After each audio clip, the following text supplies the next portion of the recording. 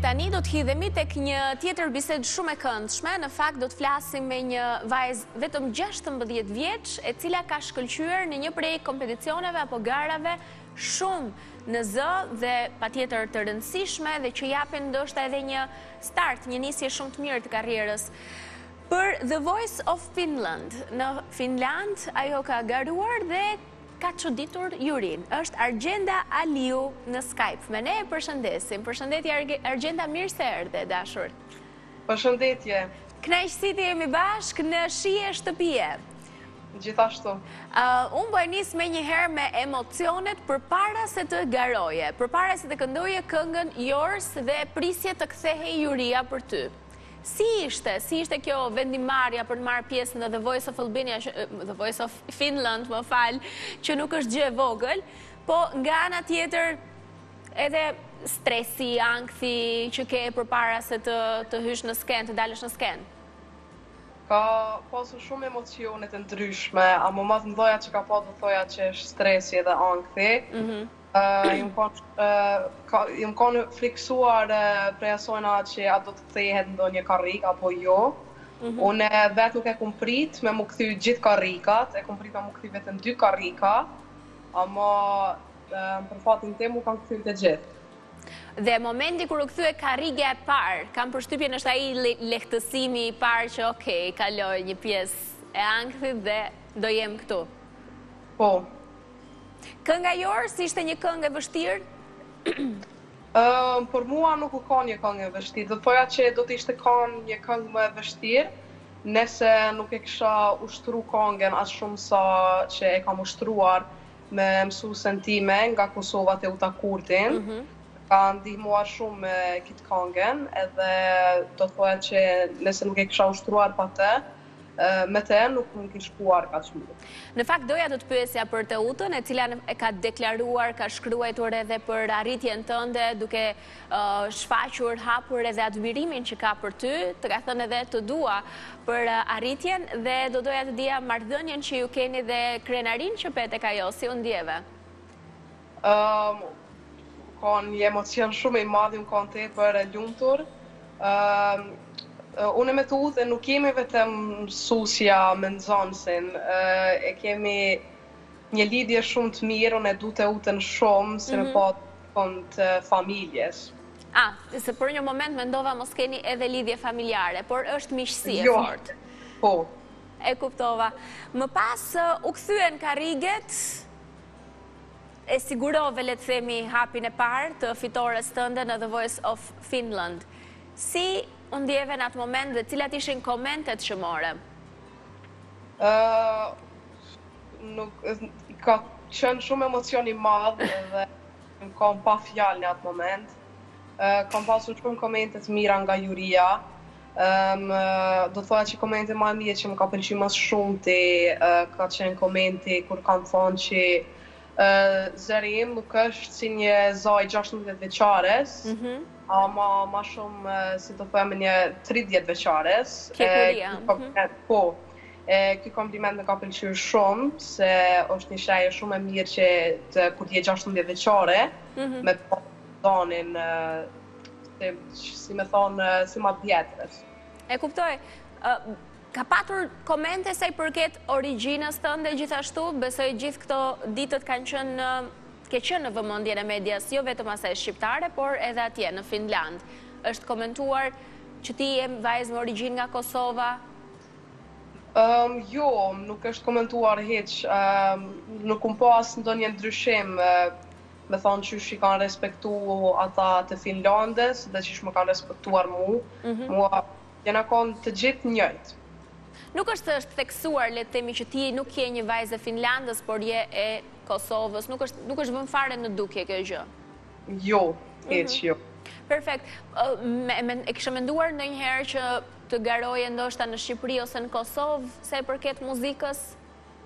Po sigurisht gjithmonë e kam menduar ama që jetojmë Finlandë e kam ma lehtë me garuar këtu Po e për atë shkak më vendi i parë ku kam mendu për me hi u kan The Voice of Finland Kjo kjo ishte hapi yt i parë domethënë nuk është se ke marrë pjesë në ndonjë garë tjetër? Um, jo, nuk do thoja që kam kam qenë nëpër gara, ama nëpër audicione në shkollë për shembull. Aha. Mirë, dakord, në shkollë po, se janë, do me thënë, impenjimet disi më të vogla, ndërsa këto marrin gjerësi shumë herë më të madhe, marrin jo vetëm kombëtare, po më gjerë se kaq, sa edhe ne, unë ndihem shumë krenar që një vajzë vetëm 16 vjeç, mahniti jurinë e The Voice of Finland, duke u renditur këto lloj programesh dhe këto lloj garash, ndër më të rëndësishmet në fushën e muzikës. Pyetja ime e fundit është, a ke një idhull të muzikës shqiptare? Po, do të thoja Yll Limani. Ah. Top number one. Është numri një për ty Ylli. Po. Mirë, më bëhet shumë qejfi që ke edhe vëmendje me sa duket edhe në muzikën e re shqiptare, nuk e ke lënë mënjanë, po e dëgjon. Se Ylli është në zërat, le të themi, të viteve të fundit, kështu që do të thotë që ti je e updateuar, thënë ndryshe, me atë çfarë ndodh këtej. Me të do doje të bëje një duet me Yllin? Po, definitivisht, ë, përfundimisht, Ylli Limani. E, po mirë. Ta urojmë, shpresoj shumë. Unë mendoj se do realizohet, se ai është djalë që bën bashkëpunime dhe duket shumë pozitiv. Nuk ma merr mendja që të kundërshtonte një zë si ty. Të falënderoj shumë që ishe me ne dhe të uroj shumë suksese dhe të uroj fitoren! Ju falënderoj juve shumë për kohën dhe të gjithë kombin mbarë që më keni ndihmuar në këtë fazë. Patjetër, me shumë kënaqësi e bëjmë. Të përshëndes e dashur, suksese! Faleminderit! Në fakt vërtet ka patur mbështetje Argjenda, sepse menjëherë pas kësaj arritjeje, le të themi, vërtet fillimi, po është moshë e re, moshë e vogël, menjëherë në mediat shqiptare është shpërndarë lajmi që një gjashtëmbëdhjetë vjeçare ka ecur goxha mirë.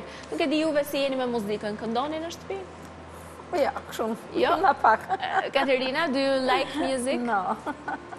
Sometimes uh, I uh, open phone. Sometimes you... Uh, ka ndonjë, le të themi në muzikën shqiptare, ndonjë këngëtar të preferuar që ia këndon këngët? Yeah.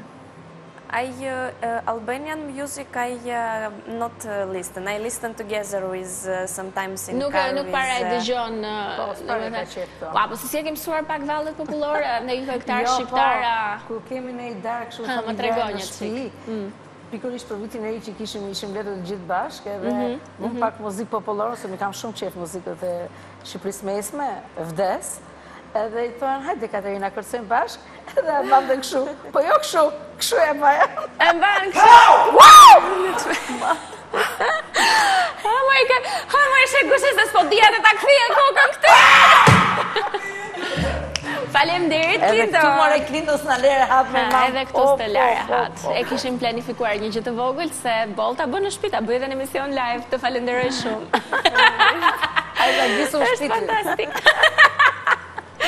Ta gatit në shpi, po mirë me pse gjithmonë e thua kështu.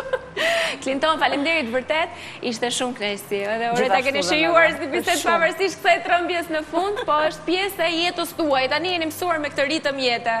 Nuk keni ç'bëni. You now this is what happens every day at your house. Yes, yes, of course. Kënaqësi dhe për neve. Na pëlqeve shumë. Faleminderit, faleminderit. Që gushja ishte ndjekëse e rregullt e programit, kështu që për ne është perfekt fare që të kishim edhe të ftuar dhe besoj e ke edhe një kujtim të bukur bashkë me Katerinën. Se ku i di, do kemi dhe ftesa të tjera, nuk po them se ndoshta do kemi ndonjë dasëm në horizont, a ndonjë gjë të tillë dhe edhe urime për mbesën, se tani më u shtua një vajzë në familjen tuaj me jetë të gjatë. Dëshirë të madhe? Po, po, shumë. Se je me dy nipa përpara, kështu po, që mbesa... Po, biles kur lindi nusja më tha djali që mam të bana dhe një gocë për veten tate. Ai mbaroi punë më duket? Po, e milë, ka i qikë. Kërkesa filloi nga ky tjetri, tani. Avash, avash. Do mbesë apo nip? Gocë. Vdes. Vdes, epo ngaqë ke patur dy çuna. Ti do nëke punë, atë kishe. Falemderit. Falemderit dhe të gjithë ju që na ndoqët. Ishte kënaqësi të ndanim sot, disa personazhe shumë interesantë, mes të cilve edhe Argjendën, Shegushen, Katerinën dhe Mabelin e vogël, recetat e zonjës Vjolca super të shijshme, të cilat ju ftoj si gjithmonë t'i shihni edhe në rrjetet sociale. Nesër do të jemi përsëri bashkë. Me siguri keni patur edhe pyetjen edhe dje ku i kam gazetaret. Gazetaret i kemi me punë. Kështu që do t'i kemi shumë shpejt dhe Albanën dhe Agidën prezent në studio. Mos u merakosni janë për bukuri. Do të përshëndetem, e mbyllim këtu. Faleminderit që na ndoqët. Të jeni mirë të gjithë.